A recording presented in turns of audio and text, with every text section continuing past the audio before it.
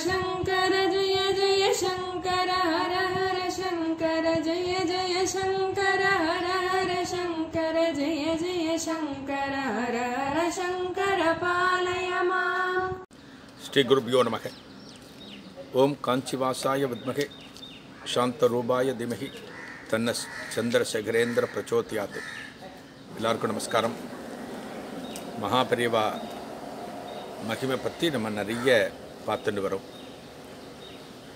இந்த மகான் வாழ்ந்த காலத்தில் இந்த மகானுடைய நேரடி அருளை பெற்றவாளை பற்றி நம்ம அதிகம் பார்க்குறோம். ஒரு மகானுடைய அருள் அப்படிங்கிறதெல்லாம் ஒரு இருக்கிற காலம் அப்படிங்கிறதெல்லாம் கிடையாது. எல்லா காலத்திலையும் மகானுடைய அருள் நமக்கு கிடைக்கும். இன்றைக்கும் மகாபிரிவளை அத்தியந்தமாக நம்ம பிடிச்சிட்டு இருந்தோம். அவரது திருவடிகளை நம்ம பற்றி கொண்டிருந்தோம் அப்படின்னா நிச்சயமாக நமக்கும் இந்த பாக்கியம் கிடைக்கும். அதைத்தான் நம்ம அத்தனை பேரும் வேண்டி விரும்பி தற்போது பிரார்த்தனை பண்ணிட்டுருக்கோம் இந்த மகானுடைய அருள் நமக்கு இருந்தால் நமது வாழ்க்கையில் ஒரு உயர்ந்த ஸ்தானத்திற்கு நம்ம போயிடுவோம். நமக்கு எந்த விதமான கஷ்டமும் இருக்காது. ஆசைகளை அறுத்துடுவர். நம்மக்கிட்ட இருக்கிற துர்குணங்களை அறவே அகற்றிடுவர். அப்படின்லாம் பிரார்த்தனை பண்ணிட்டு தான் இந்த மகானை நம்ம வழிபாடு பண்ணிகிட்ருக்கோம் இருக்கோம். இந்த மகானை அத்தியந்தமாக நம்ம பற்றிட்டோம் அப்படின்னா எந்த ரூபத்தில் வேண்டுமானாலும் நம்மை காப்பாற்றுவார். இது ரொம்ப நல்லா புரிஞ்சுக்க வேண்டிய விஷயம் இது. எந்த ரூபத்தில் வேண்டுமானாலும் எத்தகைய வடிவத்தில் வேண்டுமானாலும் நம்ம எங்கே இருந்தாலும் காப்பாற்றி விடுவார். இந்த பிரபஞ்சத்தில் எந்த மூலையில் இருந்தாலுமே ஒரு அத்தியந்த பக்தனுக்கு கஷ்டம் அப்படின்னா மனுஷா கைவிட்டுருவா ஆனால் மகான் கைவிட மாட்டார். குருநாதர் கைவிட மாட்டார். குருநாதர் பிடிச்சி அழகாக காப்பாற்றிட்டு வந்து அவனை ஒரு நல்ல நிலையில் நிற்க வச்சுட்டு தான் குருநாதர் ஓய்வார். அதுக்கு தான் ஒரு சம்பவத்தை இப்போ பார்க்க போகிறோம் ரொம்ப அற்புதமான ஒரு சம்பவம் அது தன்னோட அத்தியந்த பக்தனுக்கு மகாபிரிவா எப்படி அருள் பண்ணினார் அப்படிங்கிறத விளக்கக்கூடிய சம்பவம் அது. இந்த காலத்தில் ஒரு கல்வெட்டு ஆராய்ச்சியாளர் ஒருத்தர் இருந்தார். எப்படி நிறைய விஷயங்கள் ஆகமம் இருக்கோ சாஸ்திரம் இருக்கோ கல்வெட்டு ஆராய்ச்சிங்கிறது ஒரு மிகப்பெரிய ஒரு ஸ்டடி அது.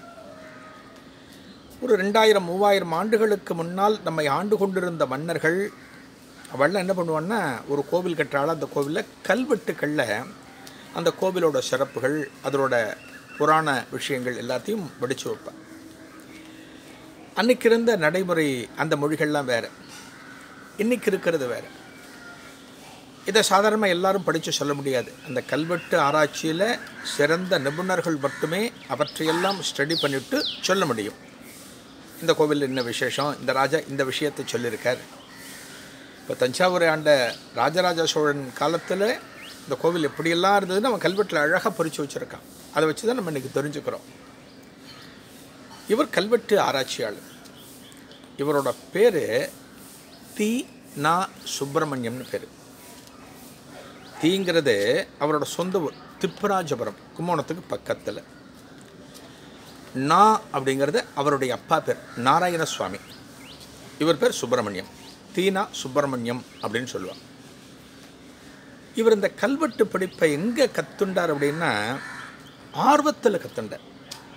ஒரு ஆர்வத்தில் தானே பல விஷயங்களை தேடி தேடி போய் அதனுடைய நுணுக்கங்களையும் அதனுடைய விளக்கங்களையும் தானே கற்றுக்கொண்டார்.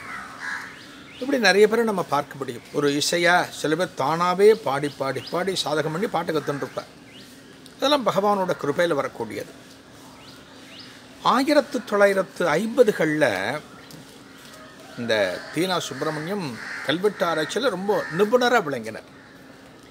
அந்த கல்வெட்டு தொடர்பான ஏதான தகவல் தெரியணுமா? ஏதான பழைய படிபங்கள் இருக்கா? இவாகிட்ட வந்து இது கொண்டு வந்து காமிச்சு கேட்பேன். இதை படித்து சொல்லுங்க. இது எங்கள் கிராமத்தில் இருக்கிற கோவில் கல்வெட்டு. இந்த கோவிலை பற்றி நாங்கள் தொலைபுராணம் எழுதணும். இந்த கோவிலில் இருக்கிற சிறப்புகளை நாங்கள் தெரிஞ்சுக்கணும் அப்படின்னு சொல்லுவேன் இவர் அத்தியந்தமான மகாபிரியோ பக்தர். யார்? தீனா சுப்பிரமணியம். மகாபிரியவாளுக்கு இந்த கல்வெட்டு துறைனா ரொம்ப பிடிக்கும் அவருக்கு. அதில் இருக்கிற விஷயங்கள்லாம் தெரிஞ்சுக்கணும் அப்படிங்கிற ஆர்வம் மகாபிரியவாளுக்கு உண்டு. மகாபிரியவாளுக்கு எல்லா விஷயத்துலையுமே ஆர்வம் உண்டு. மகாபிரிவா ஒவ்வொரு துறைக்கும் ஒரு ரெண்டு மூணு நிபுணர்களை வச்சுருப்பா ஏதாவது ஒரு சந்தேகமாக கூப்பிட்டு கேட்கணும் அப்படிங்கிறதுக்கு. இப்போ தமிழ் மொழி அப்படிங்கிறது ரொம்ப பாரம்பரிய மொழி. இந்த தமிழ் மொழி சம்பந்தமாக ஏதாவது ஒரு தகவல்கள் வேணும் இது சம்பந்தமான ஒரு ஆராய்ச்சி பண்ணணும் அப்படின்னா கீவாச்சாவை வரவழைப்பார். அவர்கிட்ட தமிழை பற்றி பேசின்னு இருப்பார். அதே போல் கல்வெட்டு தொடர்புடைய சந்தேகங்கள் சில விளக்கங்கள் பெறணும் அப்படின்னா மகாபிரிவா யாரை கூப்பிடுவார் அப்படின்னா இந்த தீனா சுப்பிரமணியம் அவரை கூப்பிடுவார்.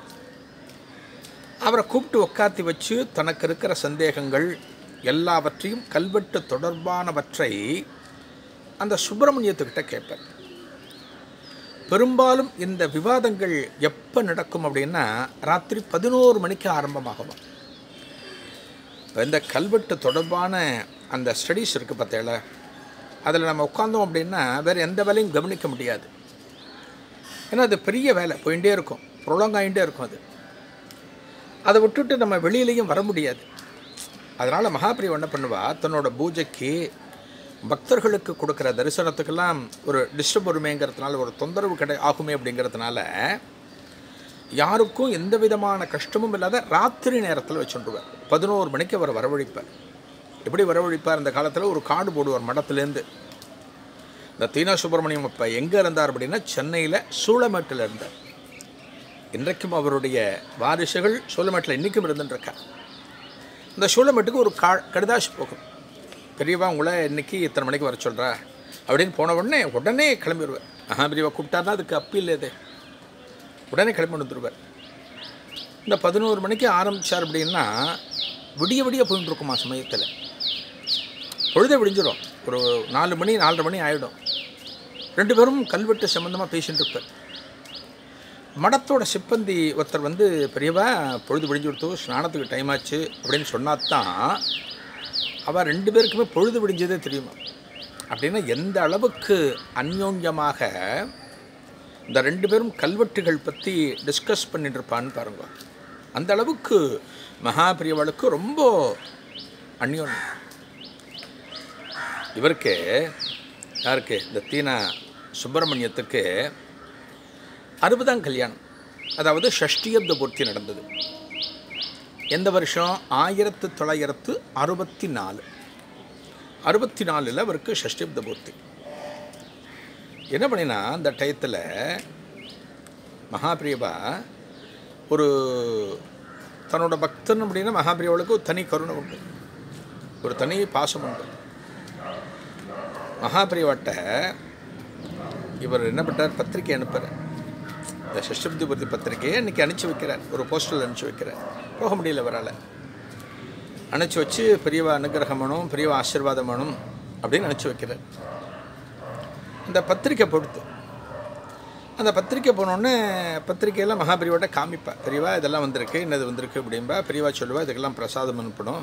இவளுக்கு நம்ம தபால் போடணும். அப்படிலாம் பெரியவா இன்ஸ்ட்ரக்ஷன் சொல்லுவாள் ஆயிரத்து தொள்ளாயிரத்து அறுபதுகளில் இவருக்கு ஷஷ்டியப்த பூர்த்தி.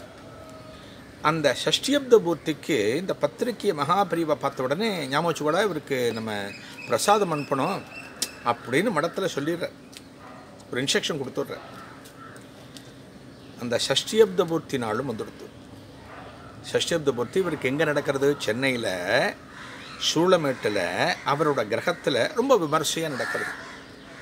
அந்த காலத்தில் விமர்சனம் என்ன? வேத கோஷங்களுக்கு முக்கியத்துவம் கொடுக்குது வேத பண்டிதர்களுக்கு ஒரு முக்கியத்துவம் கொடுக்கறது. அதுதான் ரொம்ப விசேஷம். ரொம்ப சிறப்பு அது. எண்ணற்ற வேத பண்டிதர்களை வரவழைச்சு இந்த வேத மந்திரத்தோட என்னென்ன ஷஷ்டிபது பூர்த்திக்கு பண்ணணுமோ எல்லாவற்றையும் அந்த சுப்பிரமணியம் பண்ணி ரொம்ப விமர்சையாக பண்ணிட்டுருக்கார் நேரம் முடிய போகிறது அவரோட மனசுக்குள்ளே ஒரே ஒரு ஏக்கம். யார்? சுப்பிரமணியன் இருக்குது என்ன ஏக்கம்? பெரியவாட்டேருந்து பிரசாதம் வரலையே நமக்கு. சஷ்டபதி முடிய போகிறது இந்த வைதிகாலுக்கெல்லாம் இப்போ சம்பாவனை கொடுக்க போகிறேன் இந்த மகான்கிட்டேருந்து பிரதா பிரசாதம் நமக்கு வரலையே அப்படின்னு மனசுக்குள்ள ஒரு ஏக்கம். இதை யார்கிட்டையும் சொல்லிக்கலை. வெளிக்காட்டிக்கலை. தனக்குள்ள அந்த ஏக்கத்தை வச்சுருக்கார். இந்த பக்தனுடைய ஏக்கம் தனது அத்தியந்தமான பக்தன் கல்வெட்டு ஆராய்ச்சியாளர் சுப்பிரமணியத்தோட ஏக்கம் மகானுக்கு தெரியாமலா போகும்? எப்படி நடந்தது? அடுத்தது என்ன? நாளைய நிகழ்வில் காணலாம். நன்றி. வணக்கம்.